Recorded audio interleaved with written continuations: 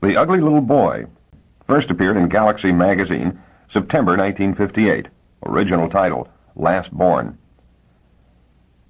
Edith Fellowes smoothed her working smock as she always did before opening the elaborately locked door and stepping across the invisible dividing line between the is and the is not. She carried her notebook and her pen, although she no longer took notes except when she felt the absolute need for some report. This time she also carried a suitcase. Games for the boys, she had said, smiling to the guard, who had long since stopped even thinking of questioning her, and who waved her on. And, as always, the ugly little boy knew that she had entered and came running to her, crying, Miss Fellowes, Miss Fellowes, in his soft, slurring way. Timmy, she said, and passed her hand over the shaggy brown hair on his misshapen little head. What's wrong? He said, Will Jerry be back to play again? I'm sorry about what happened. Never mind that now, Timmy. Is that why you've been crying? He looked away. Not just about that, Miss Fellowes. I dreamed again. The same dream? Miss Fellowes's lips set. Of course, the Jerry affair would bring back the dream. He nodded. His two large teeth showed as he tried to smile, and the lips of his forward-thrusting mouth stretched wide. When will I be big enough to go out there, Miss Fellowes? Soon, she said softly, feeling her heart break. Soon. Miss Fellowes let him take her hand and enjoyed the warm touch of the thick, dry skin of his palm. He led her through the three rooms that made up the whole of Stasis Section 1. Comfortable enough, yes, but an eternal prison for the ugly little boy all the seven, was it seven, years of his life. He led her to the one window, looking out onto a scrubby woodland section of the world of Is, now hidden by night, where a fence and painted instructions allowed no men to wander without permission. He pressed his nose against the window. Out there, Miss Fellowes? Better places. Nicer places, she said sadly as she looked at his poor little imprisoned face outlined in profile against the window. The forehead retreated flatly, and his hair lay down in tufts upon it. The back of his skull bulged and seemed to make the head over-heavy, so that it sagged and bent forward, forcing the whole body into a stoop. Already bony ridges were beginning to bulge the skin above his eyes. His wide mouth thrust forward more prominently than did his wide and flattened nose, and he had no chin to speak of, only a jawbone that curved smoothly down and back. He was small for his years, and his stumpy legs were bowed. He was a very ugly little boy, and Edith Fellowes loved him dearly. Her own face was behind his line of vision, so she allowed her lips the luxury of a trimmer. They would not kill him. She would do anything to prevent it. Anything. She opened the suitcase and began taking out the clothes it contained. Edith Fellowes had crossed the threshold of Stasis Incorporated for the first time just a little over three years before. She hadn't, at that time, the slightest idea as to what stasis meant or what the place did. No one did then, except those who worked there. In fact, it was only the day after she arrived that the news broke upon the world. At the time, it was just that they had advertised for a woman with knowledge of physiology, experience with clinical chemistry, and a love for children. Edith Fellowes had been a nurse in a maternity ward and believed she fulfilled those qualifications. Gerald Hoskins, whose nameplate on the desk included a Ph.D. after the name, scratched his cheek with his thumb, and looked at her steadily. Miss Fellowes automatically stiffened and felt her face, with its slightly asymmetric nose and its a trifle too heavy eyebrows, twitch. He was no dreamboat himself, she thought resentfully. He's getting fat and bald, and he's got a sullen mouth. But the salary mentioned had been considerably higher than she had expected, so she waited. Hoskins said, Now, do you really love children? I wouldn't say I did if I didn't. Or do you just love Pretty children. Nice, chubby children with cute little button noses and gurgly ways. Miss Fellowes said, Children are children, Dr. Hoskins, and the ones that aren't pretty are just the ones who may happen to need help most. Then suppose we take you on. You mean you're offering me the job now? He smiled briefly, and for a moment his broad face had an absent-minded charm about it. He said, I make quick decisions. So far the offer is tentative, however. I may make as quick a decision to let you go. Are you ready to take the chance? Miss Fellowes clutched at her purse and calculated just as swiftly as she could, then ignored calculations and followed impulse. All right. Fine. We're going to form the stasis tonight, and I think you had better be there to take over at once. That will be at 8 p.m., and I'd appreciate it if you could be here at 7.30. But what? Fine, fine. That will be all now. On signal, a smiling secretary came in to usher her out. Miss Fellowes stared back at Dr. Hoskins' closed door for a moment. What was stasis? What had this large barn of a building, with its badged employees, its makeshift corridors, and its unmistakable air of engineering, to do with children? She wondered if she should go back that evening or stay away and teach that arrogant man a lesson. But she knew she would be back, if only out of sheer frustration. She would have to find out about the children. She came back at 7.30 and did not have to announce herself. One after another, men and women seemed to know her and to know her function. She found herself all but placed on skids as she was moved inward. Dr. Hoskins was there, but he only looked at her distantly and murmured, Miss Fellowes. He did not even suggest that she take a seat, but she drew one calmly up to the railing and sat down. They were on a balcony, looking down into a large pit filled with instruments that looked like a cross between the control panel of a spaceship and the working face of a computer. On one side were partitions that seemed to make up an unsealing department, a giant dollhouse into the rooms of which she could look from above. She could see an electronic cooker and a freeze space unit in one room and a washroom arrangement off another and surely the object she made out in another room could only be part of a bed, a small bed. Hoskins was speaking to another man, and with Miss Fellowes they made up the total occupancy of the balcony. Hoskins did not offer to introduce the other man, and Miss Fellowes eyed him surreptitiously. He was thin and quite fine-looking in a middle-aged way. He had a small mustache and keen eyes that seemed to busy themselves with everything. He was saying, I don't pretend for one moment that I understand all this, Dr. Hoskins. I mean, except as a layman, a reasonably intelligent layman may be expected to understand it. Still, if there's one part I understand less than another, it's this matter of selectivity. You can only reach out so far. That seems sensible. Things get dimmer the further you go. It takes more energy. But then you can only reach out so near. That's the puzzling part. I can make it seem less paradoxical, Devaney, if you allow me to use an analogy. Miss Fellowes placed the new man the moment she heard his name, and despite herself was impressed. This was obviously Candide Devaney, the science writer of the Telenews, who was notoriously at the scene of every major scientific breakthrough. She even recognized his face as one she saw on the news plate when the landing on Mars had been announced. So Dr. Hoskins must have something important here. By all means use an analogy, said Devaney ruefully, if you think it will help. Well, then, you can't read a book with ordinary-sized print if it is held six feet from your eyes. But you can read it if you hold it one foot from your eyes. So far, the closer the better.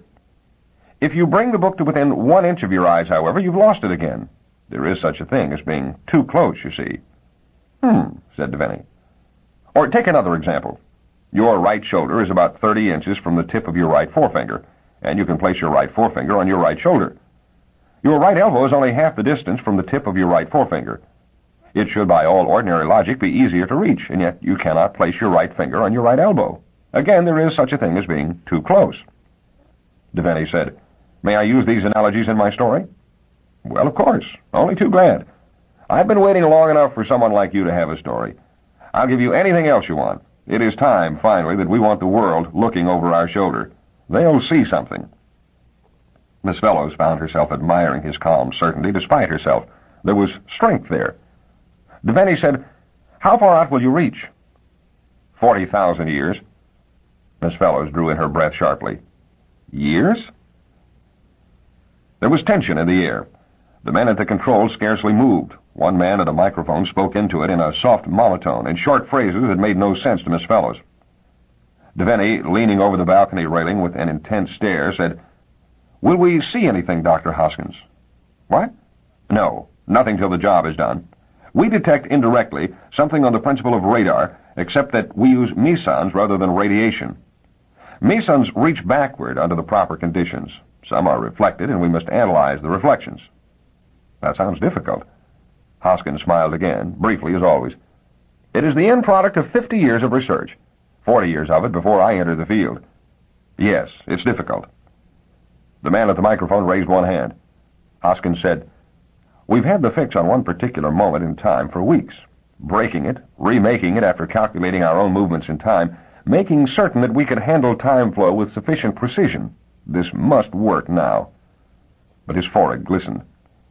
Edith Fellowes found herself out of her seat and at the balcony railing, but there was nothing to see. The man at the microphone said quietly, Now. There was a space of silence sufficient for one breath, and then the sound of a terrified little boy's scream from the dollhouse rooms. Terror. Piercing terror. Miss Fellow's head twisted in the direction of the cry. A child was involved. She had forgotten. And Hoskins' fist pounded on the railing, and he said in a tight voice, trembling with triumph, Did it. Miss Fellowes was urged down the short spiral flight of steps by the hard press of Hoskins' palm between her shoulder blades. He did not speak to her. The men who had been at the controls were standing about now, smiling, smoking, watching the three as they entered on the main floor. A very soft buzz sounded from the direction of the dollhouse. Hoskins said to Devaney, It's perfectly safe to enter stasis. I've done it a thousand times. There's a queer sensation which is momentary and means nothing. He stepped through an open door in mute demonstration, and Devaney, smiling stiffly and drawing an obviously deep breath, followed him.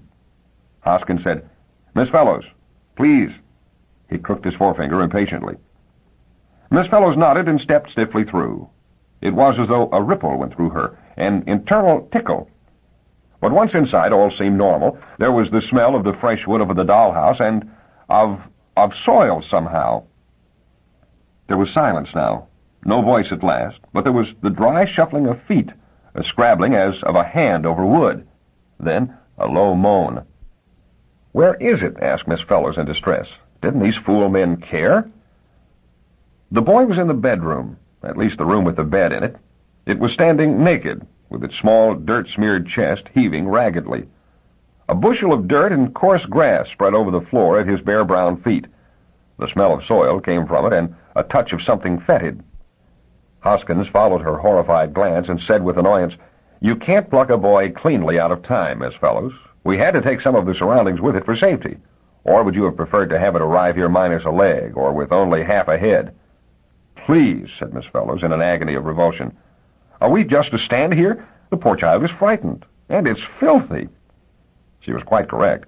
It was smeared with encrusted dirt and grease and had a scratch on its thigh that looked red and sore. As Hoskins approached the boy, who seemed to be something over three years in age, hunched low and backed away rapidly. He lifted his upper lip and snarled in a hissing fashion like a cat. With a rapid gesture, Hoskins seized both the child's arms and lifted him, writhing and screaming, from the floor. Miss Fellowes said, Hold him now. He needs a warm bath first. He needs to be cleaned. Have you the equipment? If so, have it brought here, and I'll need to have help in handling him just at first. Then, too, for heaven's sake, have all this trash and filth removed. She was giving the orders now, and she felt perfectly good about it. And because now she was an efficient nurse, rather than a confused spectator, she looked at the child with a clinical eye, and hesitated for one shocked moment. She saw past the dirt and shrieking, past the thrashing of limbs and useless twisting. She saw the boy himself. It was the ugliest little boy she had ever seen. It was horribly ugly, from misshapen head to bandy legs. She got the boy cleaned with three men helping her, and with others milling about in their efforts to clean the room. She worked in silence and with a sense of outrage, annoyed by the continued strugglings and outcries of the boy, and by the undignified drenchings of soapy water to which she was subjected. Dr. Hoskins had hinted that the child would not be pretty, but that was far from stating that it would be repulsively deformed and there was a stench about the boy that soap and water was only alleviating little by little. She had the strong desire to thrust the boy, soaped as he was, into Hoskins' arms and walk out. But there was the pride of profession. She had accepted an assignment after all. And there would be the look in his eyes, a cold look that would read, Only pretty children, Miss Fellowes? He was standing apart from them, watching coolly from a distance with a half smile on his face when he caught her eyes, as though amused at her outrage. She decided she would wait a while before quitting. To do so now would only demean her. Then, when the boy was a bearable pink and smelled of scented soap, she felt better anyway. His cries changed to whimpers of exhaustion as he watched carefully, eyes moving in quick, frightened suspicion from one to another of those in the room. His cleanness accentuated his thin nakedness as he shivered with cold after his bath. Miss Fellowes said sharply, Bring me a nightgown for the child. A nightgown appeared at once, it was as though everything were ready, and yet nothing were ready unless she gave orders, as though they were deliberately leaving this in her charge without help to test her. The newsman, Devaney, approached and said, I'll hold him, miss. You won't get it on yourself. Thank you, said Miss Fellowes. And it was a battle indeed. But the nightgown went on, and when the boy made as though to rip it off, she slapped his hand sharply. The boy reddened but did not cry. He stared at her, and the splayed fingers of one hand moved slowly across the flannel of the nightgown, feeling the strangeness of it. Miss Fellowes thought desperately, well, what next? Everyone seemed in suspended animation, waiting for her, even the ugly little boy. Miss Fellowes said sharply, Have you provided food? Milk? They had. A mobile unit was wheeled in with its refrigeration compartment containing three quarts of milk, with a warming unit and a supply of fortifications in the form of vitamin drops, copper cobalt iron syrup, and others she had no time to be concerned with. There was a variety of canned, self-warming junior foods. She used milk, simply milk to begin with. The radar unit heated the milk to a set temperature in a matter of ten seconds and clicked off, and she put some in a saucer. She had a certainty about the boy's savagery. He wouldn't know how to handle a cup.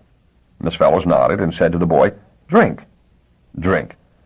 She made a gesture as though to raise the milk to her mouth. The boy's eyes followed, but he made no move.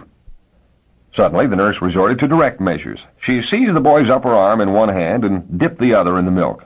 She dashed the milk across his lips so that it dripped down cheeks and receding chin. For a moment, the child uttered a high-pitched cry, then his tongue moved over his wetted lips. Miss Fellowes stepped back. The boy approached the saucer, bent toward it, then looked up and behind sharply as though expecting a crouching enemy, bent again, and licked at the milk eagerly like a cat. He made a slurping noise. He did not use his hands to lift the saucer. Miss Fellowes allowed a bit of the revulsion she felt show on her face. She couldn't help it. Devaney caught that, perhaps. He said, Does the nurse know, Dr. Hoskins? Know what? demanded Miss Fellowes.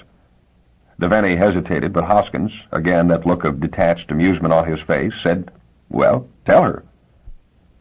Devaney addressed Miss Fellowes. You may not suspect it, miss, but you happen to be the first civilized woman in history ever to be taking care of a Neanderthal youngster. She turned on Hoskins with a kind of controlled ferocity. You might have told me, Doctor. Why? What difference does it make? You said a child. Isn't that a child? Have you ever had a puppy or a kitten, Miss Fellowes? Are those closer to the human? If that were a baby chimpanzee, would you be repelled?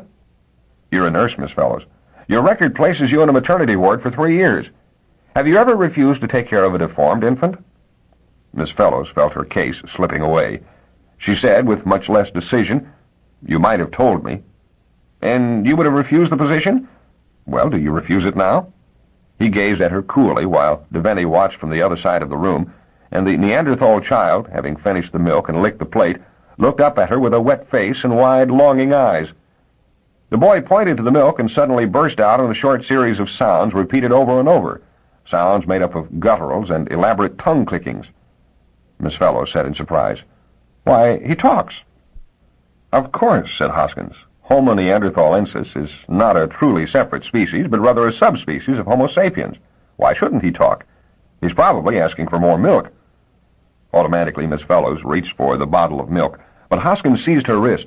Now, Miss Fellowes, before we go any further, are you staying on the job? Miss Fellowes shook free in annoyance. Won't you feed him if I don't? I'll stay with him. For a while. She poured the milk. Hoskins said, we're going to leave you with the boy, Miss Fellowes. This is the only door to stasis number one, and it is elaborately locked and guarded. I want you to learn the details of the lock, which will, of course, be keyed to your fingerprints, as they are already keyed to mine. The spaces overhead, he looked upward to the open ceilings of the dollhouse, are also guarded, and we will be warned if anything untoward takes place in here. Miss Fellowes said indignantly, You mean I'll be under view? She thought suddenly of her own survey of the room interiors from the balcony. No, no, said Hoskins seriously. Your privacy will be respected completely. The view will consist of electronic symbolism only, which only a computer will deal with. Now, you will stay with him tonight, Miss Fellowes, and every night until further notice. You will be relieved during the day according to some schedule you will find convenient. We will allow you to arrange that. Miss Fellowes looked about the dollhouse with a puzzled expression. But why all this, Dr. Hoskins? Is the boy dangerous? It's a matter of energy, Miss Fellowes. He must never be allowed to leave these rooms. Never. Not for an instant, not for any reason. Not to save his life. Not even to save your life, Miss Fellowes. Is that clear? Miss Fellowes raised her chin. I understand the orders, Dr. Hoskins, and the nursing profession is accustomed to placing its duties ahead of self-preservation. Good. You can always signal if you need anyone. And the two men left. Miss Fellowes turned to the boy. He was watching her, and there was still milk in the saucer. Laboriously, she tried to show him how to lift the saucer and place it to his lips. He resisted, but let her touch him without crying out.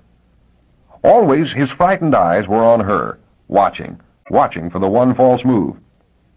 She found herself soothing him, trying to move her hand very slowly toward his hair, letting him see it every inch of the way, see there was no harm in it. And she succeeded in stroking his hair for an instant. She said, I'm going to have to show you how to use the bathroom. Do you think you can learn? She spoke quietly, kindly, knowing he would not understand the words, but hoping he would respond to the calmness of the tone. The boy launched into a clicking phrase again. She said, May I take your hand? She held out hers, and the boy looked at it. She left it outstretched and waited. The boy's own hand crept forward toward hers. That's right, she said.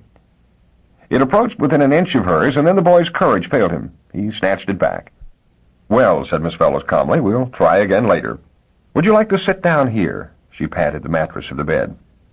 The hours passed slowly, and progress was minute.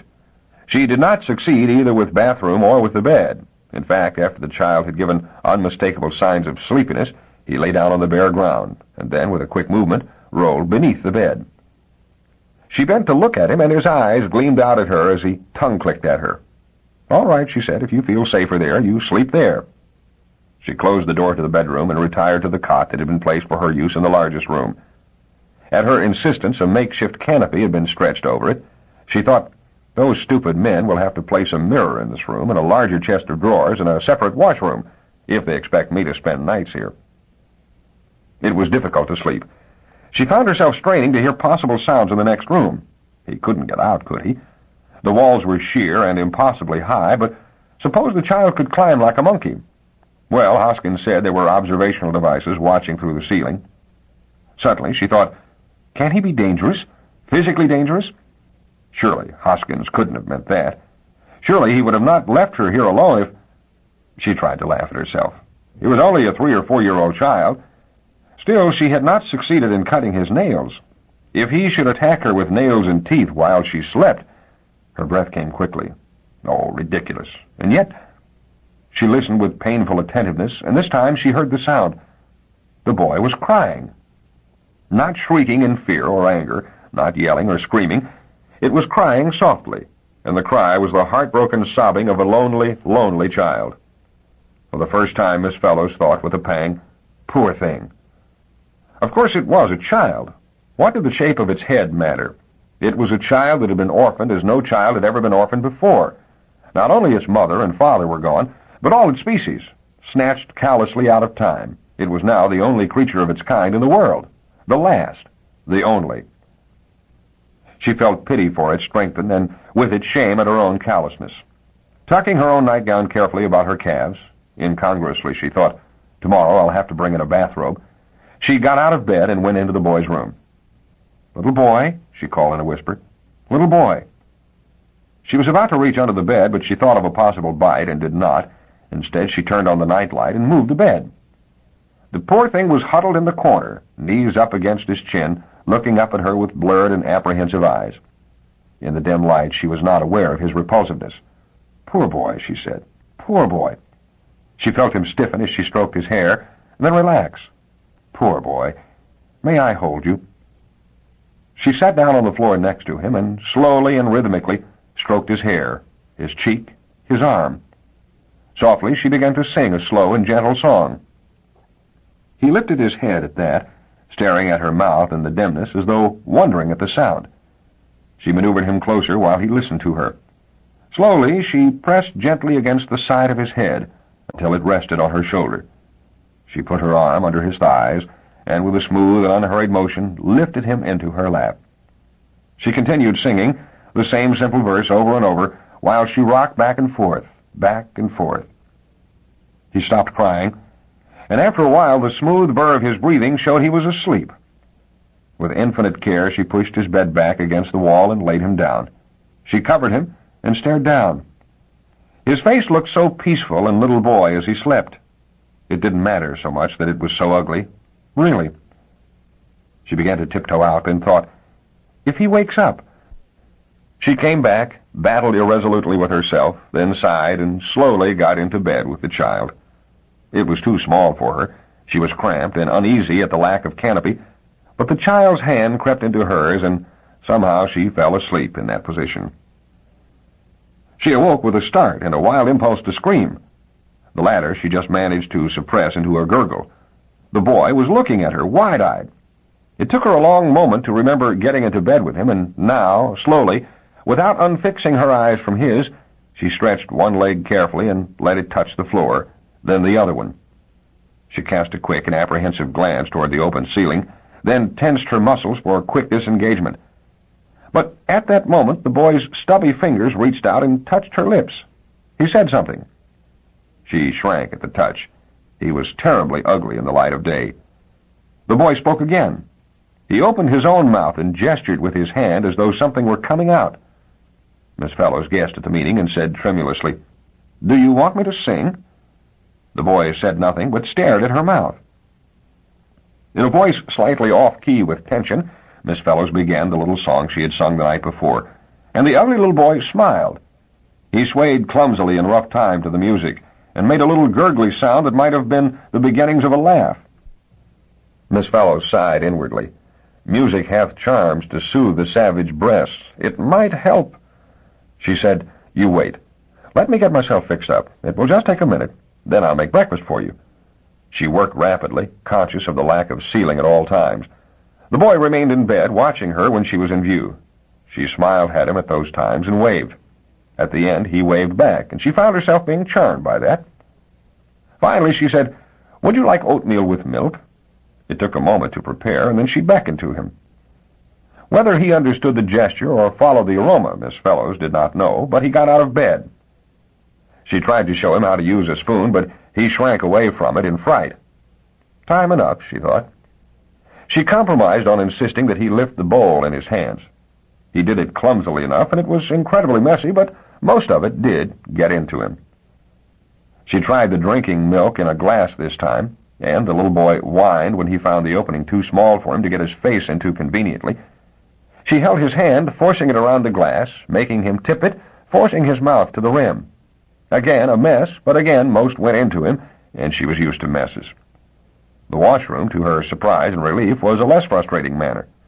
He understood what it was she expected him to do. She found herself patting his head, saying, Good boy, smart boy. And to Miss Fellow's exceeding pleasure, the boy smiled at that. She thought, when he smiles, he's quite bearable. Really. Later in the day, the gentleman of the press arrived. She held the boy in her arms, and he clung to her wildly while across the open door they set cameras to work. The commotion frightened the boy, and he began to cry, but it was ten minutes before Miss Fellowes was allowed to retreat and put the boy in the next room. She emerged again, flushed with indignation, walked out of the apartment, for the first time in eighteen hours, and closed the door behind her. I think you've had enough. It will take me a while to quiet him. Go away. Sure, sure, said the gentleman from the Times Herald. But is that really a Neanderthal, or is this some kind of gag? I assure you, said Hoskin's voice, suddenly from the background, that this is no gag. The child is authentic Homo neanderthalensis. Is it a boy or a girl? Boy, said Miss Fellowes briefly. Ape boy, said the gentleman from the news. That's what we've got here. Ape boy. How does he act, nurse? He acts exactly like a little boy, snapped Miss Fellowes, annoyed into the defensive. And he is not an ape boy. His name is is Timothy, Timmy, and he is perfectly normal in his behavior. She had chosen the name Timothy at a venture. It was the first that had occurred to her. Timmy the Ape Boy, said the gentleman from the news. And as it turned out, Timmy the Ape Boy was the name under which the child became known to the world. The gentleman from the Globe turned to Hoskins and said, Doc, what do you expect to do with the Ape Boy? Hoskins shrugged. My original plan was completed when I proved it possible to bring him here. However, the anthropologists will be very interested, I imagine, and the physiologists. We have here, after all, a creature which is at the edge of being human. We should learn a great deal about ourselves and our ancestry from him. How long will you keep him? Until such a time as we need the space more than we need him. Quite a while, perhaps. The gentleman from the news said, Can you bring it out into the open so we can set up sub-etheric equipment and put on a real show?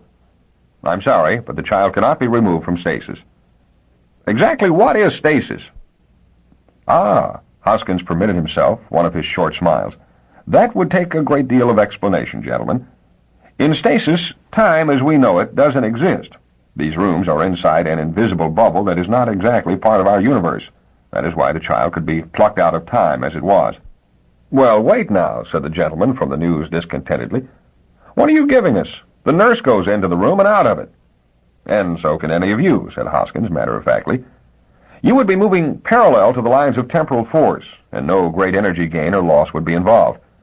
The child, however, was taken from the far past. It moved across the lines and gained temporal potential.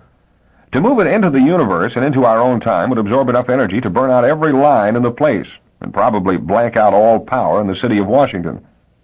We have to store trash brought with him on the premises, and we'll have to remove it little by little. The newsmen were writing down sentences busily as Hoskins spoke to them. They did not understand, and they were sure their readers would not, but it sounded scientific, and that was what counted. The gentleman from the Times Herald said, Would you be available for an all-circuit interview tonight? I think so, said Hoskins at once, and they all moved off. Miss Fellowes looked after them. She understood all this about stasis and temporal force as little as the newsmen, but she managed to get this much. Timmy's imprisonment she found herself suddenly thinking of the little boy as Timmy, was a real one, and not one imposed by the arbitrary fiat of Hoskins. Apparently, it was impossible to let him out of stasis at all. Ever. Poor child. Poor child. She was suddenly aware of his crying, and she hastened in to console him. Miss Fellowes did not have a chance to see Hoskins on the all-circuit hookup, and though his interview was beamed to every part of the world, and even to the outpost on the moon, it did not penetrate the apartment in which Miss Fellowes and the ugly little boy lived. But he was down the next morning, radiant and joyful. Miss Fellowes said, Did the interview go well? Extremely. And how is Timmy? Miss Fellowes found herself pleased at the use of the name. Doing quite well. Now come out here, Timmy. The nice gentleman will not hurt you. But Timmy stayed in the other room, with a lock of his matted hair showing behind the barrier of the door, and occasionally the corner of an eye. Actually, said Miss Fellowes, he is settling down amazingly. He is quite intelligent. Are you surprised? She hesitated just a moment, then said, Yes, I am. I suppose I thought he was an ape boy. Well, ape boy or not, he's done a great deal for us. He's put Stasis Incorporated on the map. We're in, Miss Fellowes, we're in. It was as though he had to express his triumph to someone, even if only to Miss Fellowes. Oh? She let him talk. He put his hands in his pockets and said, We've been working on a shoestring for ten years, scrounging funds a penny at a time wherever we could. We had to shoot the works on one big show. It was everything or nothing. And when I say the works, I mean it. This attempt to bring in a Neanderthal took every cent we could borrow or steal, and some of it was stolen. Funds for other projects, used for this one without permission. If that experiment hadn't succeeded, I'd have been through. Miss Fellowes said abruptly, Is that why there are no ceilings? Eh? Hoskins looked up. Was there no money for ceilings? Oh, well, that wasn't the only reason. We didn't really know in advance how old the Neanderthal might be exactly. We can detect only dimly in time, and he might have been large and savage. It was possible we might have had to deal with him from a distance, like a caged animal. But since that hasn't turned out to be so, I suppose you can build a ceiling now. Now, yes. We have plenty of money now. Funds have been promised from every source. This is all wonderful, Miss Fellowes. His broad face gleamed with a smile that lasted, and when he left, even his back seemed to be smiling. Miss Fellowes thought, he's quite a nice man when he's off guard and forgets about being scientific. She wondered for an idle moment if he was married, then dismissed the thought in self-embarrassment. Timmy, she called. Come here, Timmy. In the months that passed, Miss Fellowes found herself grow to be an integral part of Stasis Incorporated. She was given a small office of her own with her name on the door, an office quite close to the dollhouse, as she never stopped calling Timmy's stasis bubble. She was given a substantial raise. The dollhouse was covered by a ceiling, its furnishings were elaborated and improved, a second washroom was added, and even so she gained an apartment of her own on the Institute grounds and on occasion did not stay with Timmy during the night.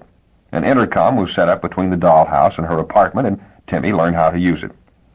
Miss Fellowes got used to Timmy, she even grew less conscious of his ugliness. One day she found herself staring at an ordinary boy in the street and finding something bulgy and unattractive in his high-domed forehead and jutting chin. She had to shake herself to break the spell.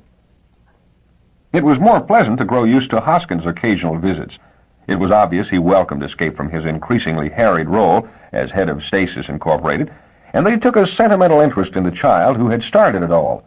But it seemed to Miss Fellowes that he also enjoyed talking to her. She had learned some facts about Hoskins, too. He had invented the method of analyzing the reflection of the past penetrating mesonic beam. He had invented the method of establishing stasis. His coldness was only an effort to hide a kindly nature, and, oh yes, he was married. What Miss Fellowes could not get used to was the fact that she was engaged in a scientific experiment.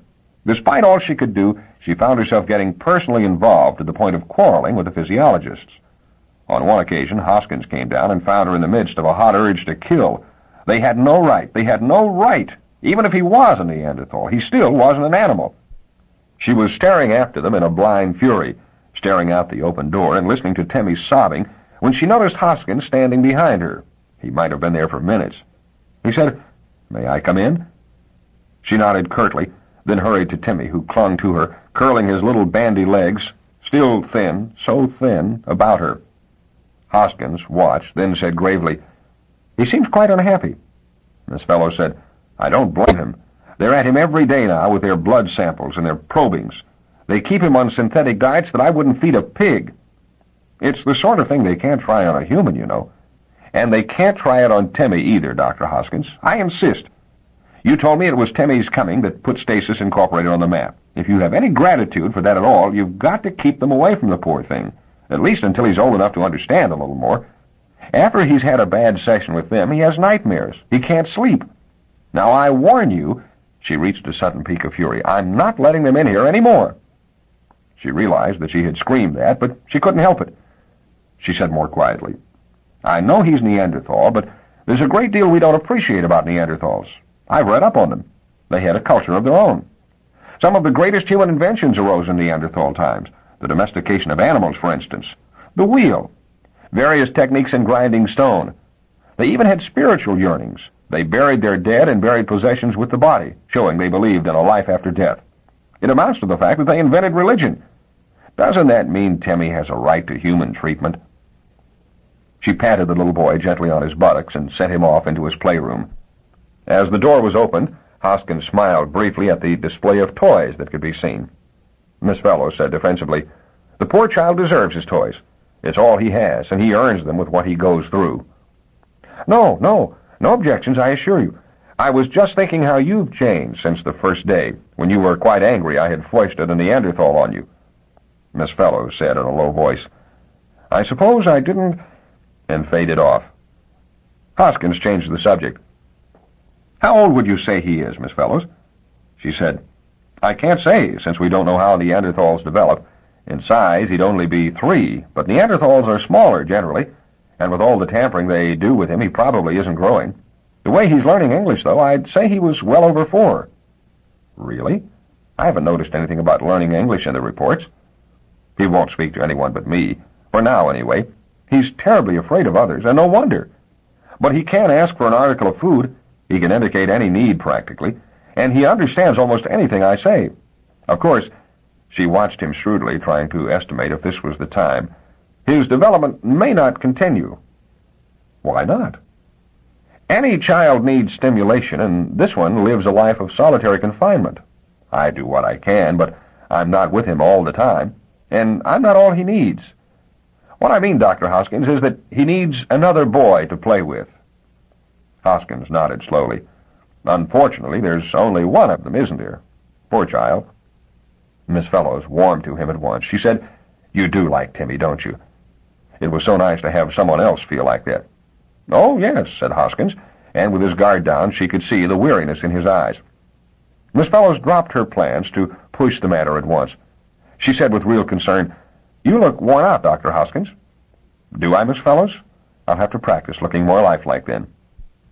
I suppose Stasis Incorporated is very busy, and that that keeps you very busy. Hoskins shrugged. You suppose right. It's a matter of animal, vegetable, and mineral in equal parts, Miss Fellowes. But then I suppose you haven't ever seen our displays. Actually, I haven't. But it's not because I'm not interested. It's just that I've been so busy. Well, you're not all that busy right now, he said with impulsive decision. I'll call for you tomorrow at 11 and give you a personal tour. How's that? She smiled happily. I'd love it. He nodded and smiled in his turn and left. Miss Fellowes hummed at intervals for the rest of the day. Really, to think so was ridiculous, of course, but really it was almost like, like making a date.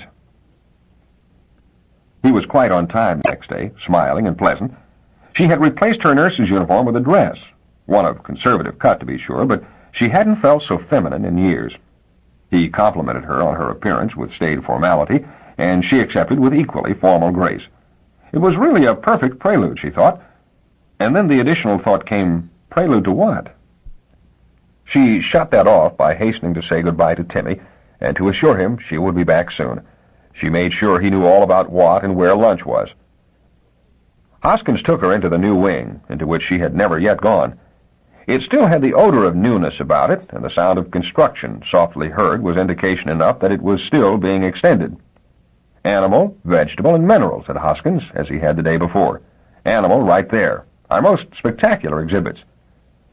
The space was divided into many rooms, each a separate stasis bubble. Hoskins brought her to the view glass of one, and she looked in. What she saw impressed her first as a scaled-tailed chicken. Skittering on two thin legs, it ran from wall to wall with its delicate bird-like head, surmounted by a bony keel like the comb of a rooster, looking this way and that.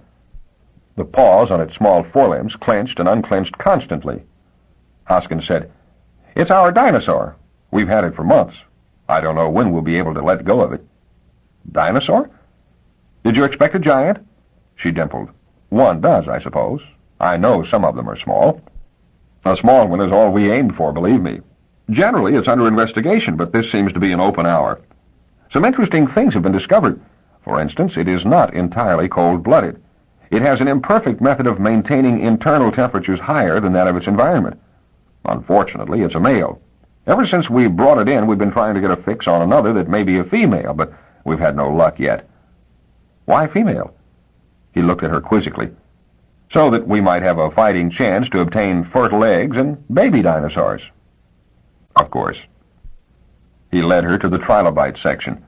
That's Professor Duane of Washington University, he said. He's a nuclear chemist. If I recall correctly, he's taking an isotope ratio on the oxygen of the water. Why? It's primeval water, at least half a billion years old. The isotope ratio gives the temperature of the ocean at that time. He himself happens to ignore the trilobites, but others are chiefly concerned in dissecting them. They're the lucky ones because all they need are scalpels and microscopes. Duane has to set up a mass spectrograph each time he conducts an experiment. Why's that? Can't he? No, he can't. He can't take anything out of the room as far as can be helped. There were samples of primordial plant life, too, and chunks of rock formations. Those were the vegetable and mineral. And every specimen had its investigator. It was like a museum, a museum brought to life and serving as a superactive center of research. And you have to supervise all of this, Dr. Hoskins? Only indirectly, Miss Fellowes. I have subordinates, thank heaven. My own interest is entirely in the theoretical aspects of the matter, the nature of time, the technique of mesonic intertemporal detection, and so on. I would exchange all this for a method of detecting objects closer in time than 10,000 years ago. If we could get into historical times... He was interrupted by a commotion at one of the distant booths. A thin voice raised querulously. He frowned, muttered hastily, Excuse me, and hastened off. Miss Fellowes followed as best she could without actually running. An elderly man, thinly bearded and red-faced, was saying, I had vital aspects of my investigations to complete. Don't you understand that? A uniformed technician with the interwoven SI monogram for Stasis Incorporated on his lab coat said, Dr. Hoskins, it was arranged with Professor Adamowski at the beginning that the specimen could only remain here two weeks. I did not know then how long my investigations would take. I'm not a prophet, said Adamowski heatedly. Dr. Hoskins said, You understand, Professor, we have limited space. We must keep specimens rotating. That piece of chalcopyrite must go back. There are men waiting for the next specimen. Why can't I have it for myself, then? Let me take it out of there. You know you can't have it. A piece of chalcopyrite. A miserable five-kilogram piece? Why not? We can't afford the energy expense, said Hoskins brusquely. You know that. The technician interrupted. The point is, Dr. Hoskins, that he tried to remove the rock against the rules, and I almost punctured stasis while he was in there, not knowing he was in there. There was a short silence, and Dr. Hoskins turned on the investigator with a cold formality. Is that so, Professor? Professor Adamowski coughed. I saw no harm. Hoskins reached up to a hand pole dangling just within reach, outside the specimen room in question. He pulled it. Miss Fellowes, who had been peering in, looking at the totally undistinguished sample of rock that occasioned the dispute, drew in her breath sharply as its existence flickered out. The room was empty. Hoskins said, Professor, your permit to investigate matters in stasis will be permanently voided. I am sorry. But wait! I am sorry. You have violated one of the stringent rules. I will appeal to the International Association. Appeal away. In a case like this, you will find I can't be overruled. He turned away deliberately, leaving the professor still protesting, and said to Miss Fellowes, his face still white with anger, Would you care to have lunch with me, Miss Fellowes? He took her into the small administration alcove of the cafeteria. He greeted others and introduced Miss Fellowes with complete ease, although she herself felt painfully self-conscious. What must they think, she thought, and tried desperately to appear businesslike. She said, Do you have that kind of trouble often, Dr. Hoskins? I mean, like that you just had with the professor? She took her fork in hand and began eating. No, said Hoskins forcefully. That was the first time. Of course, I'm always having to argue men out of removing specimens, but this is the first time one actually tried to do it. I remember you once talked about the energy it would consume. That's right. Of course, we've tried to take it into account. Accidents will happen, and so we've got special power sources designed to stand the drain of accidental removal from stasis. But that doesn't mean we want to see a year's supply of energy gone in half a second, or can afford to without having our plans of expansion delayed for years. Besides, imagine the professor as being in the room while stasis was about to be punctured. What would have happened to him if it had been? Well, we've experimented with inanimate objects and with mice, and they've disappeared. Presumably they've traveled back in time, carried along, so to speak, by the pull of the object simultaneously snapping back into its natural time. For that reason, we have to anchor objects within stasis that we don't want to move, and that's a complicated procedure. The professor would not have been anchored, and he would have gone back to the Pliocene at the moment when we abstracted the rock, plus, of course, the two weeks it had remained here in the present. How dreadful it would have been. Not on account of the professor, I assure you. If he were fool enough to do what he did, it would serve him right. But imagine the effect it would have on the public if the fact came out. All people would need is to become aware of the dangers involved, and funds could be choked off like that. He snapped his fingers and played moodily with his food. Miss Fellowes said, Couldn't you get him back, the way you got the rock in the first place? No, because once an object is returned, the original fix is lost, unless we deliberately plan to retain it, and there was no reason to do that in this case. There never is. Finding the professor again would mean relocating a specific fix, and that would be like dropping a line into the oceanic abyss for the purpose of dredging up a particular fish. My God, when I think of the precautions we take to prevent accidents, it makes me mad. We have every individual stasis unit set up with its own puncturing device. We have to, since each unit has its separate fix and must be collapsible independently. The point is, though, none of the puncturing devices is ever activated until the last minute and then we deliberately make activation impossible except by the pull of a rope carefully led outside the stasis. The pull is a gross mechanical motion that requires a strong effort, not something that is likely to be done accidentally. Miss Fellows said, But doesn't it change history to move something in and out of time? Hoskins shrugged. Theoretically, yes. Actually, except in unusual cases, no. We move objects out of stasis all the time. Air molecules, bacteria, dust, about 10% of our energy consumption goes to make up micro losses of that nature. But moving even large objects in time sets up changes that damp out. Take that chalcopyrite from the Pliocene. Because of its absence for two weeks, some insect didn't find the shelter it might have found and is killed. That could initiate a whole series of changes, but the mathematics of stasis indicates that this is a converging series. The amount of change diminishes with time, and then things are as before. You mean reality heals itself? In a manner of speaking. Abstract a human from time or send one back and you make a larger wound. If the individual is an ordinary one, that wound still heals itself. Of course, there are a great many people who write to us each day and want us to bring Abraham Lincoln into the present, or Mohammed, or Lenin. That can't be done, of course. Even if we could find them, the change in reality in moving one of the history molders would be too great to be healed. There are ways of calculating when a change is likely to be too great, and we avoid even approaching that limit. Miss Fellowes said, Then, Timmy, no, he presents no problem in that direction. Reality is safe. But, he gave her a quick, sharp glance, then went on. But never mind. Yesterday you said Timmy needed companionship. Yes, Miss Fellowes smiled her delight. I didn't think you paid that any attention. Of course I did. I'm fond of the child. I appreciate your feelings for him, and I was concerned enough to want to explain to you. Now I have. You've seen what we do. You've gotten some insight into the difficulties involved. So you know why, with the best will in the world, we can't supply companionship for Timmy. You can't? said Miss Fellowes with sudden dismay. I've just explained. We couldn't possibly expect to find another Neanderthal his age without incredible luck, and if we could, it wouldn't be fair to multiply risks by having another human being in stasis. Miss Fellowes put down her spoon and said energetically, But Dr. Hoskins, that is not at all what I meant. I don't want you to bring another Neanderthal into the present. I know that's impossible. But it isn't impossible to bring another child to play with Timmy. Hoskins stared at her in concern. A human child? Another child, said Miss Fellowes, completely hostile now. Timmy is human. I couldn't dream of such a thing. Why not? Why couldn't you? What is wrong with the notion? You pulled that child out of time and made him an eternal prisoner. Don't you owe him something? Dr. Hoskins, if there is any man who, in this world, is that child's father in every sense but the biological, it is you. Why can't you do this little thing for him? Hoskins said, His father? He rose, somewhat unsteadily, to his feet. Miss Fellowes, I think I'll take you back now, if you don't mind. They returned to the dollhouse in a complete silence that neither broke. It was a long time after that before she saw Hoskins again, except for an occasional glimpse in passing. She was sorry about that at times. Then at other times, when Timmy was more than usually woebegone, or when he spent silent hours at the window with its prospect of little more than nothing, she thought fiercely, Stupid man.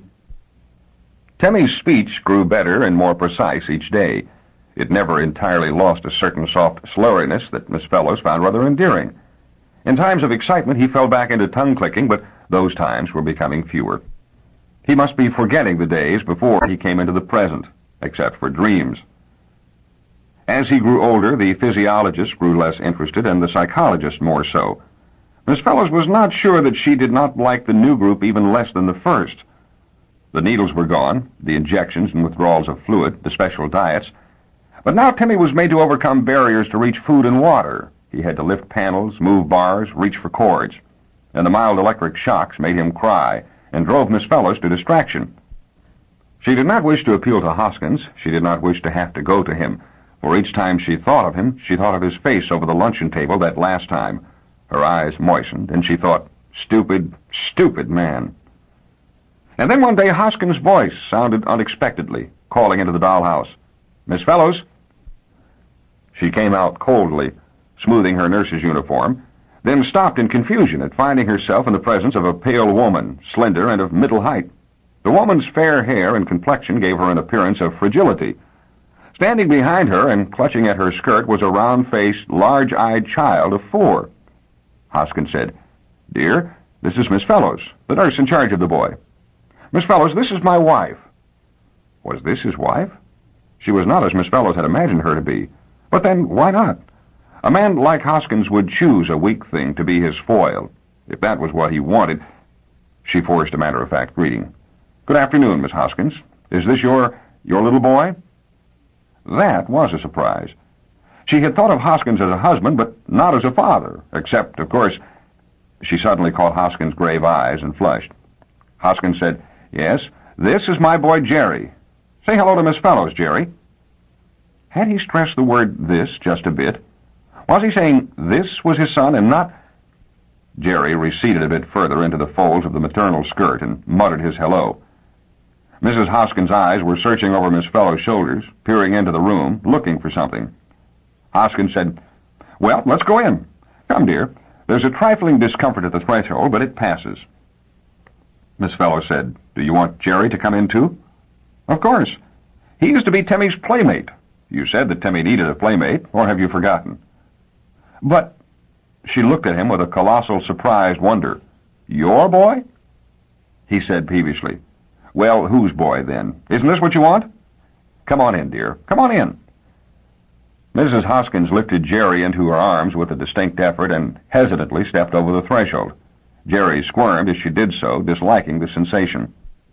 Mrs. Hoskins said in a thin voice, Is the creature here? I don't see him. Miss Fellowes called, Timmy, come out. Timmy peered around the edge of the door, staring up at the little boy who was visiting him. The muscles in Mrs. Hoskins' arms tensed visibly. She said to her husband, Gerald, are you sure it's safe? Miss Fellowes said at once. If you mean is Timmy safe, why, of course he is. He's a gentle little boy. But he's a sa savage. The ape boy stories in the newspapers. Miss Fellowes said emphatically, he is not a savage.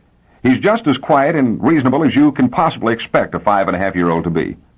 It is very generous of you, Mrs. Hoskins, to agree to allow your boy to play with Timmy, but please have no fears about it. Mrs. Hoskins said with mild heat, I'm not sure that I agree. We've had it out, dear, said Hoskins. Let's not bring up the matter for new argument. Put Jerry down. Mrs. Hoskins did so, and the boy backed against her, staring at the pair of eyes which were staring back at him from the next room. Come here, Timmy, said Miss Fellowes. Don't be afraid. Slowly, Timmy stepped into the room. Hoskins bent to disengage Jerry's fingers from his mother's skirt. Step back, dear. Give the children a chance. The youngsters faced one another. Although the younger, Jerry was nevertheless an inch taller, and in the presence of his straightness and his high-held, well-proportioned head, Timmy's grotesqueries were suddenly almost as pronounced as they had been in the first days. Miss Fellowes' lips quivered. It was the little Neanderthal who spoke first, in childish treble. What's your name?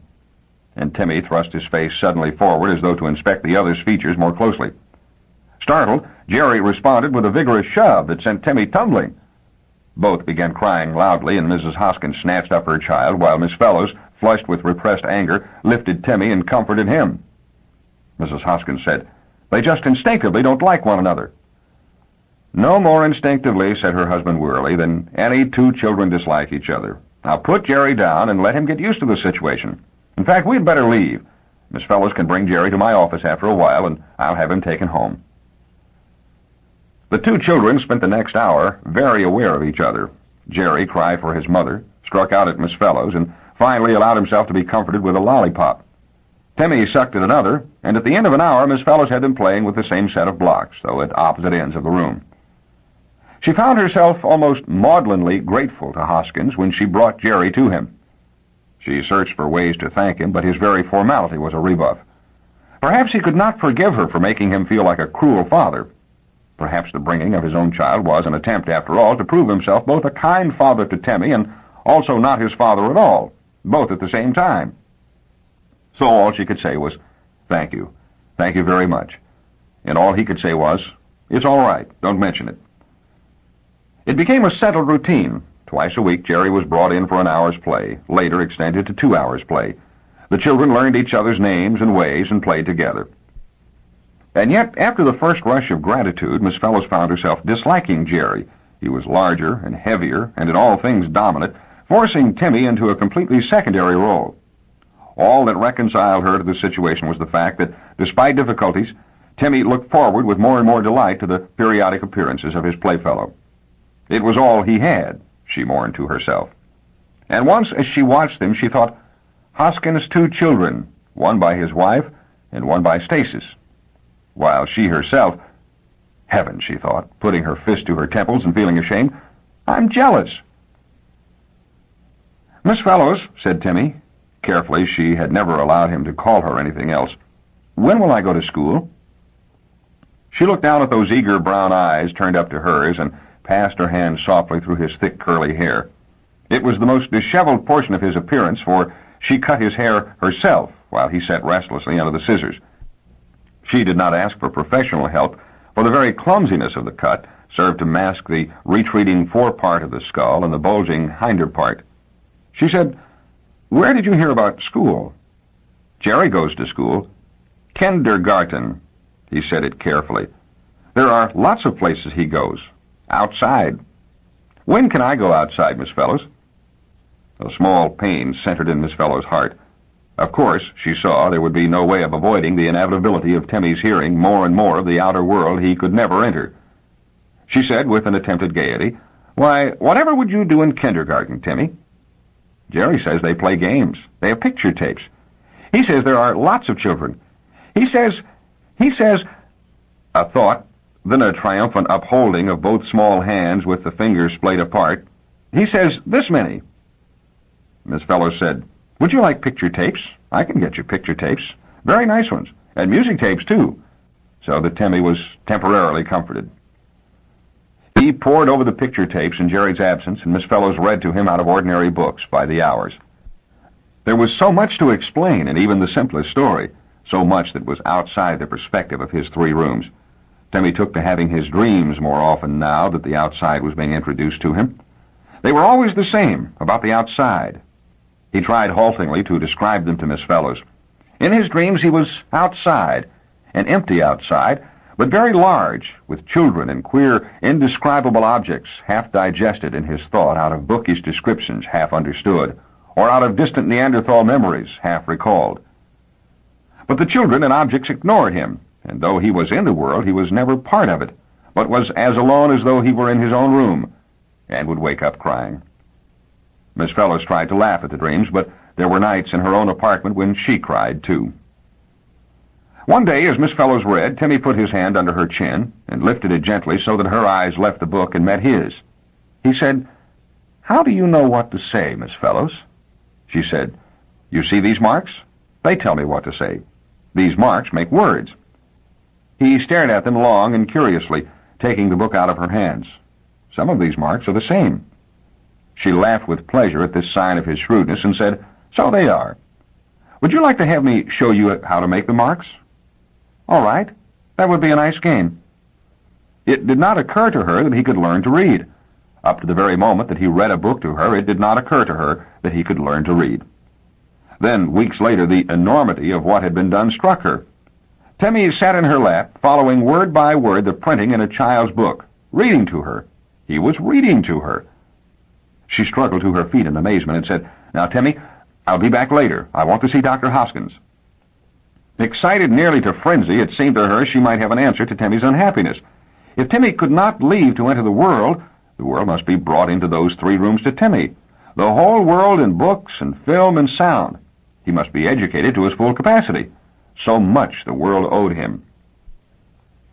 She found Hoskins in a mood that was oddly analogous to her own, a kind of triumphant glory. His offices were unusually busy, and for a moment she thought she would not get to see him as she stood abashed in the anteroom. But he saw her, and a smile spread over his broad face. Miss Fellowes, come here. He spoke rapidly into the intercom, then shut it off. Have you heard? No, of course you couldn't have. We've done it. We've actually done it. We have intertemporal detection at close range. You mean, she tried to detach her thought from her own good news for a moment, that you can get a person from historical times into the present? That's just what I mean. We have a fix on a 14th century individual right now. Imagine, imagine, if you could only know how glad I'll be to shift from the eternal concentration on the Mesozoic, replace the paleontologists with the historians. But there's something you wish to say to me, eh? Well, go ahead, go ahead. You find me in a good mood. Anything you want, you can have. Miss Fellowes smiled. I'm glad because I wonder if we might not establish a system of instruction for Timmy. Instruction? In what? Well, in everything. A school, so that he might learn. But can he learn?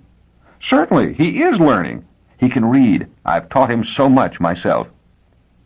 Hoskins sat there, seeming suddenly depressed. I don't know, Miss Fellowes. She said, You just said that anything I wanted...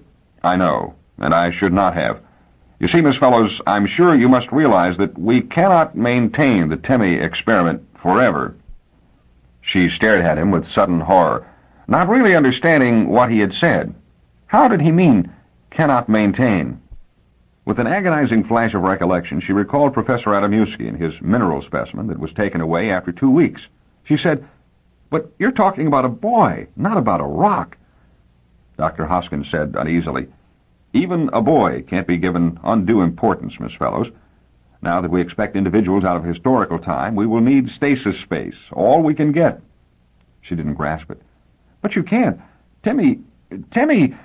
Now, Miss Fellowes, please don't upset yourself. Timmy won't go right away, perhaps not for months. Meanwhile, we'll do what we can. She was still staring at him. Let me get you something, Miss Fellowes. No, she whispered. I don't need anything. She arose in a kind of nightmare and left. Timmy, she thought, you will not die. You will not die. It was all very well to hold tensely to the thought that Timmy must not die, but how was that to be arranged? In the first weeks, Miss Fellowes clung only to the hope that the attempt to bring forward a man from the 14th century would fail completely. Hoskins' theories might be wrong, or his practice defective. Then things could go on as before. Certainly that was not the hope of the rest of the world, and irrationally Miss Fellowes hated the world for it. Project Middle Ages reached a climax of white-hot publicity. The press and the public had hungered for something like this. Stasis Incorporated had lacked the necessary sensation for a long time now. A new rock or another ancient fish failed to stir them, but this was it. A historical human, an adult speaking a known language, someone who could open a new page of history to the scholar. Zero time was coming, and this time it was not a question of three onlookers from the balcony.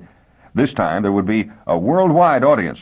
This time the technicians of Stasis Incorporated would play their role before nearly all of mankind. Miss Fellowes was herself all but savage with waiting. When young Jerry Hoskins showed up for his scheduled playtime with Timmy, she scarcely recognized him. He was not the one she was waiting for. The secretary who brought him left hurriedly after the barest nod from Miss Fellowes. She was rushing for a good place from which to watch the climax of Project Middle Ages. And so ought Miss Fellowes, with far better reasons, she thought bitterly, if only that stupid girl would arrive. Jerry Hoskins sidled toward her, embarrassed. Miss Fellowes? He took the reproduction of a news strip out of his pocket. Yes, what is it, Jerry? Is this a picture of Timmy? Miss Fellowes stared at him, then snatched the strip from Jerry's hand. The excitement of Project Middle Ages had brought about a pale revival of interest in Timmy on the part of the press. Jerry watched her narrowly, then said, It says Timmy is an ape boy. What does that mean? Miss Fellowes caught the youngster's wrist and repressed the impulse to shake him. Never say that, Jerry. Never. Do you understand? It's a nasty word, and you mustn't use it. Jerry struggled out of her grip, frightened.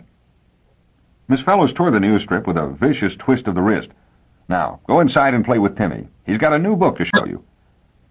And then, finally, the girl appeared. Miss Fellowes did not know her. None of the usual stand-ins she had used when business took her elsewhere was available now, not with Project Middle Ages at Climax. But Hoskins' secretary had promised to find someone, and this must be the girl. Miss Fellowes tried to keep querulousness out of her voice. Are you the girl assigned to Stasis Section 1? Yes, I'm Mandy Terris. You're Miss Fellowes, aren't you? That's right. I'm sorry I'm late. There's just so much excitement. I know. Now I want you... Mandy said, You'll be watching, I suppose, her thin, vacuously pretty face filled with envy. Never mind that. Now I want you to come inside and meet Timmy and Jerry. They will be playing for the next two hours, so they'll be giving you no trouble. They've got milk candy and plenty of toys. In fact, it will be better if you leave them alone as much as possible. Now I'll show you where everything is located and... Is it Timmy that's the ape... Timmy is the stasis subject, said Miss Fellowes firmly. I mean, he's the one who's not supposed to get out, is that right? Yes. Now come in, there isn't much time. And when she finally left, Mandy Terris called after her shrilly, I hope you get a good seat, and golly, I sure hope it works. Miss Fellowes did not trust herself to make a reasonable response. She hurried on without looking back. But the delay meant she did not get a good seat. She got no nearer than the wall viewing plate in the assembly hall. Bitterly, she regretted that. If she could have been on the spot, if she could somehow have reached out for some sensitive portion of the instrumentations, if she were in some way able to wreck the experiment. She found the strength to beat down her madness. Simple destruction would have done no good. They would have rebuilt and reconstructed and made the effort again, and she would never be allowed to return to Timmy. Nothing would help. Nothing but that the experiment itself fail, that it break down irretrievably. So she waited through the countdown, watching every move on the giant screen, scanning the faces of the technicians as the focus shifted from one to the other, watching for the look of worry and uncertainty that would mark something unexpectedly wrong, watching, watching. There was no such look. The count reached zero, and very quietly, very unassumingly, the experiment succeeded. In the new stasis that had been established, there stood a bearded, stoop-shouldered peasant of indeterminate age, in ragged, dirty clothing and wooden shoes, staring in dull horror at the sudden mad change that had flung itself over him.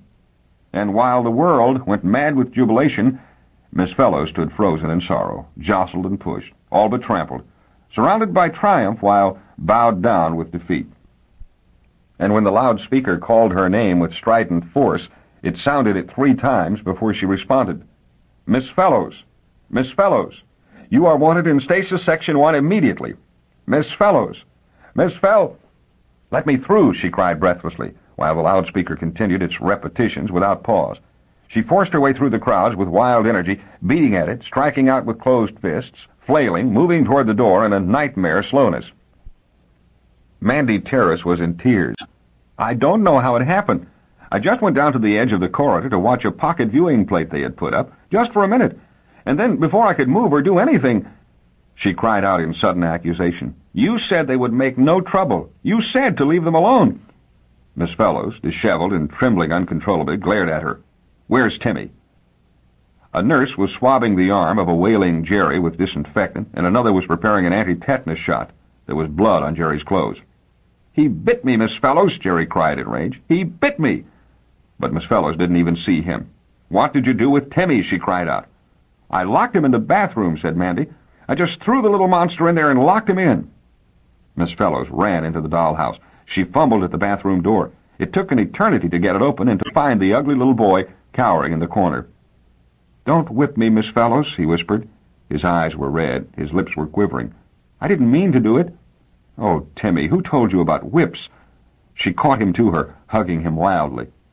He said tremulously, She said with a long rope. She said you would hit me and hit me. You won't be. She was wicked to say so. But what happened? What happened? He called me an ape boy. He said I wasn't a real boy. He said I was an animal. Timmy dissolved in a flood of tears. He said he wasn't going to play with a monkey any more. I said I wasn't a monkey. I wasn't a monkey. He said I was all funny looking. He said I was horrible ugly. He kept saying and saying, and I bit him. They were both crying now. Miss Fellowes sobbed, But it isn't true.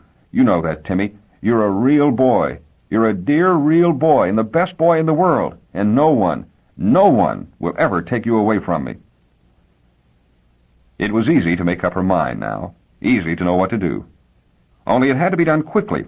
Hoskins wouldn't wait much longer, with his own son mangled. No, it would have to be done this night. This night, with the place four-fifths asleep and the remaining fifth intellectually drunk over Project Middle Ages. It would be an unusual time for her to return, but not an unheard-of one. The guard knew her well and would not dream of questioning her. He would think nothing of her carrying a suitcase. She rehearsed the non-committal phrase, games for the boy, and the calm smile. Why shouldn't he believe that? He did. When she entered the dollhouse again, Timmy was still awake, and she maintained a desperate normality to avoid frightening him. She talked about his dreams with him, and listened to him ask wistfully after Jerry. There would be few to see her afterward, none to question the bundle she would be carrying. Timmy would be very quiet, and then it would be a fait accompli. It would be done, and what would be the use of trying to undo it? They would leave her be. They would leave them both be. She opened the suitcase, took out the overcoat, the woolen cap, with the ear flaps, and the rest. Timmy said, with the beginning of alarm, Why are you putting all these clothes on me, Miss Fellowes? She said, I'm going to take you outside, Timmy, to where your dreams are. My dreams? His face twisted in sudden yearning, yet fear was there too. You won't be afraid. You'll be with me. You won't be afraid if you're with me, will you, Timmy? No, Miss Fellowes. He buried his little misshapen head against her side, and under her enclosing arm she could feel his small heart thud. It was midnight, and she lifted him into her arms. She disconnected the alarm and opened the door softly. And she screamed, for facing her across the open door was Hoskins. There were two men with him, and he stared at her as astonished as she. Miss Fellowes recovered first by a second and made a quick attempt to push past him, but even with the second's delay he had time. He caught her roughly and hurled her back against a chest of drawers. He waved the men in and confronted her, blocking the door. I didn't expect this. Are you completely insane? She had managed to interpose her shoulder so that it, rather than Timmy, had struck the chest. She said pleadingly, What harm can it do if I take him, Dr. Hoskins? You can't put energy loss ahead of a human life. Firmly, Hoskins took Timmy out of her arms. An energy loss this size would mean millions of dollars lost out of the pockets of investors. It would mean a terrible setback for Stasis Incorporated. It would mean eventual publicity about a sentimental nurse destroying all that for the sake of an ape boy. Ape boy, said Miss Fellowes in helpless fury. That's what the reporters would call him, said Hoskins. One of the men emerged now, looping a nylon rope through eyelets along the upper portion of the wall. Miss Fellowes remembered the rope that Hoskins had pulled outside the room containing Professor Adamowski's rock specimen so long ago. She cried out, No! But Hoskins put Timmy down and gently removed the overcoat he was wearing. You stay here, Timmy. Nothing will happen to you. We're just going outside for a moment, all right? Timmy, white and wordless, managed to nod. Hoskins steered Miss Fellowes out of the dollhouse ahead of himself. For the moment, Miss Fellowes was beyond resistance. Dully, she noticed the hand pull being adjusted outside the dollhouse. I'm sorry, Miss Fellowes, said Hoskins. I would have spared you this. I planned it for the night so that you would know only when it was over. She said in a weary whisper, Because your son was hurt. Because he tormented this child into striking out at him. No, believe me, I understand about the incident today, and I know it was Jerry's fault. But the story has leaked out. It would have to, with the press surrounding us on this day of all days. I can't risk having a distorted story about negligence and savage Neanderthalers, so-called distract from the success of Project Middle Ages. Timmy has to go soon anyway. He might as well go now and give the sensationalists as small a peg as possible on which to hang their trash. It's not like sending a rock back. You'll be killing a human being. Not killing. There'll be no sensation. He'll simply be a Neanderthal boy in a Neanderthal world. He will no longer be a prisoner and alien. He will have a chance at a free life. What chance? He's only seven years old, used to being taken care of, fed, clothed, sheltered. He will be alone. His tribe may not be at the point where he left them now that four years have passed. And if they were, they would not recognize him. He will have to take care of himself. How will he know how? Hoskins shook his head in hopeless negative. Lord, Miss Fellowes, do you think we haven't thought of that? Do you think we would have brought in a child if it weren't that it was the first successful fix of a human? or near human we made, and that we did not dare to take the chance of unfixing him and finding another fix as good? Why do you suppose we kept Timmy as long as we did, if it were not for our reluctance to send a child back into the past? It's just, his voice took on a desperate urgency, that we can wait no longer. Timmy stands in the way of expansion. Timmy is a source of possible bad publicity. We are on the threshold of great things. I'm sorry, Miss Fellowes, but we can't let Timmy block us. We cannot. We cannot. I'm sorry, Miss Fellowes. Well, then, said Miss Fellowes sadly, let me say goodbye. Give me five minutes to say goodbye. Spare me that much. Hoskins hesitated. Go ahead. Timmy ran to her. For the last time he ran to her, and for the last time Miss Fellowes clasped him in her arms. For a moment she hugged him blindly. She caught at a chair with the toe of one foot, moved it against the wall, sat down. Don't be afraid, Timmy. I'm not afraid if you're here, Miss Fellowes. Is that man mad at me, the man out there? No, he isn't. He just doesn't understand about us. Timmy, do you know what a mother is? Like Jerry's mother? Did he tell you about his mother? Sometimes. I think maybe a mother is a lady who takes care of you and who's very nice to you and who does good things. That's right. Have you ever wanted a mother, Timmy? Timmy pulled his head away from her so that he could look into her face. Slowly he put his hand to her cheek and hair and stroked her, as long, long ago she had stroked him. He said, Aren't you my mother? Oh, Timmy. Are you angry because I asked? No, of course not. Because I know your name is Miss Fellowes, but but sometimes I call you Mother inside. Is that all right? Yes, yes, it's all right. And I won't leave you any more and nothing will hurt you. I'll be with you to care for you always. Call me Mother, so I can hear you. Mother, said Timmy contentedly, leaning his cheek against hers. She rose, and still holding him, stepped up on the chair. The sudden beginning of a shout from outside went unheard, and with her free hand she yanked with all her weight at the cord where it hung suspended between two eyelets. And stasis was punctured, and the room was empty.